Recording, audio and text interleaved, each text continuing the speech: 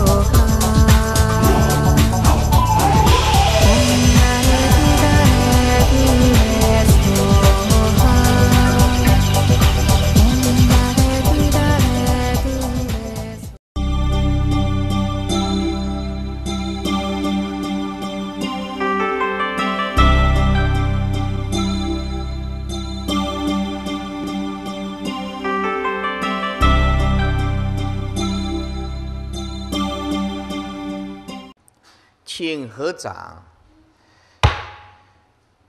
南无本师释迦牟尼佛。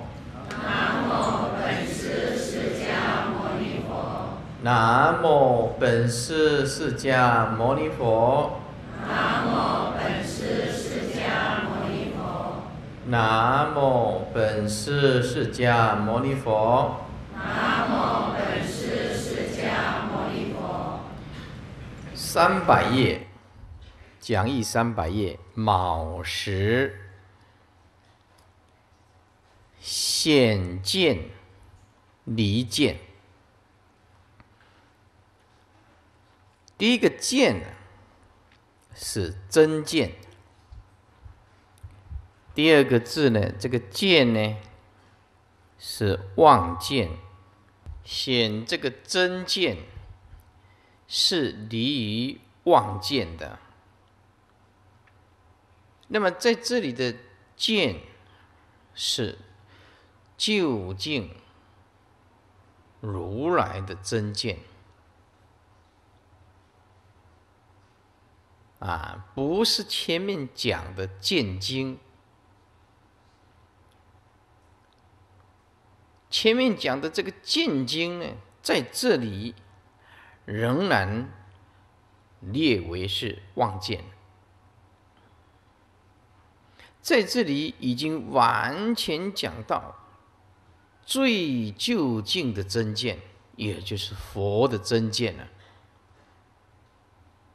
所以这一段呢，有点困难啊，诸位要好好的听，说显见、离见。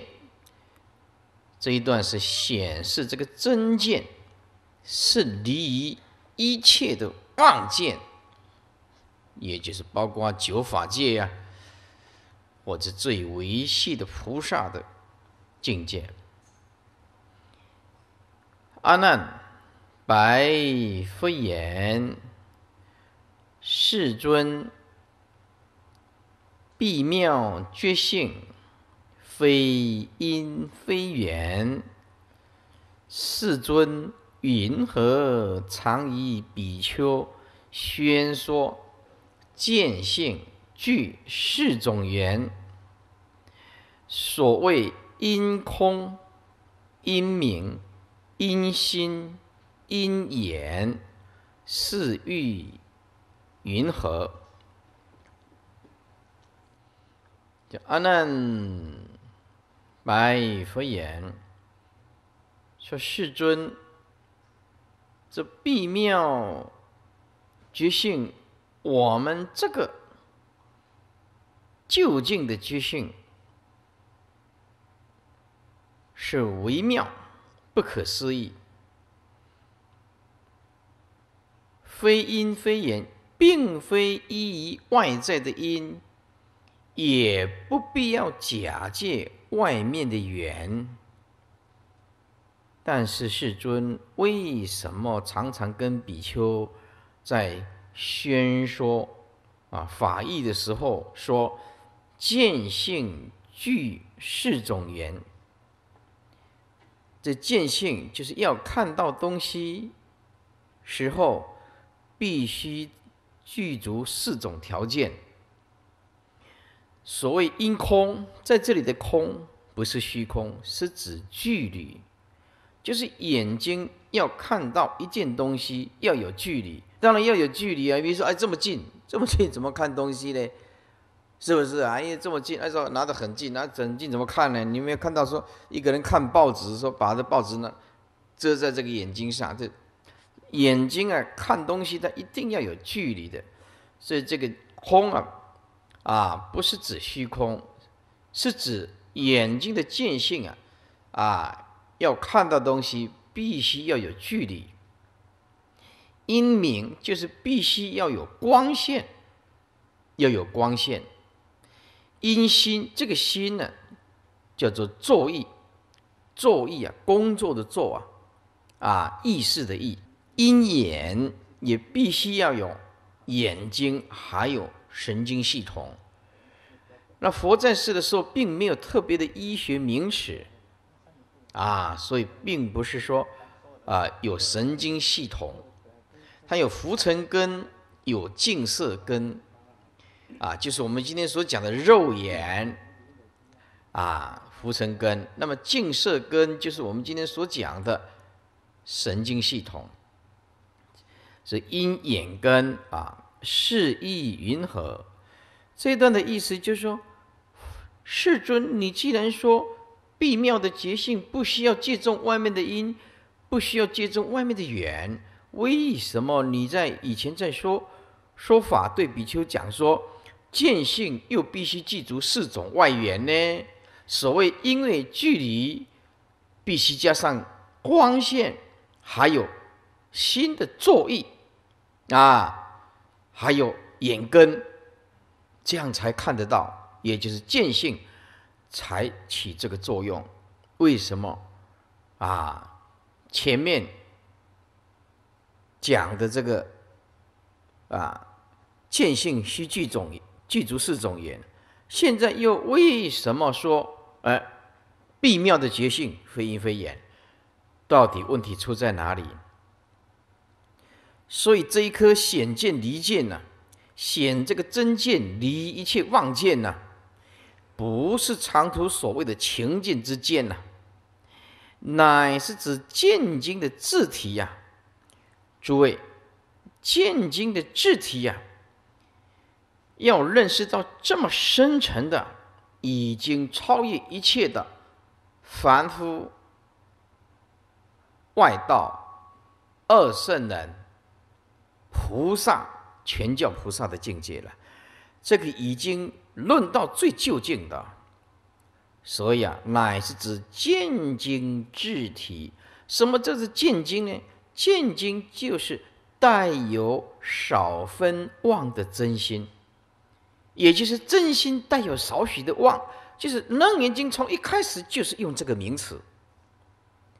那为什么不要一下子就用？真见呢？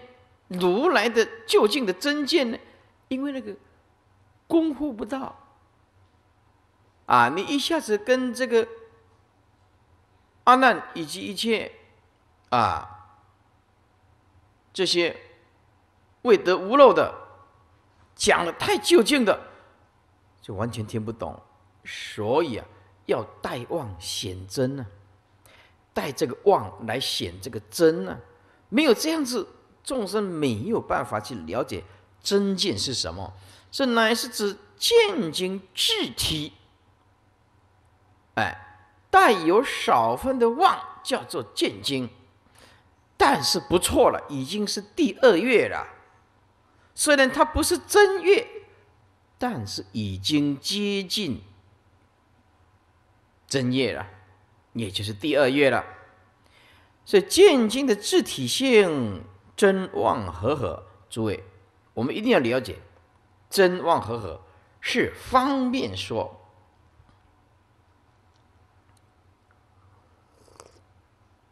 妄本来就空，哪来的合啊？或者是不合呢？也亦可分为真妄二见，也并不是说。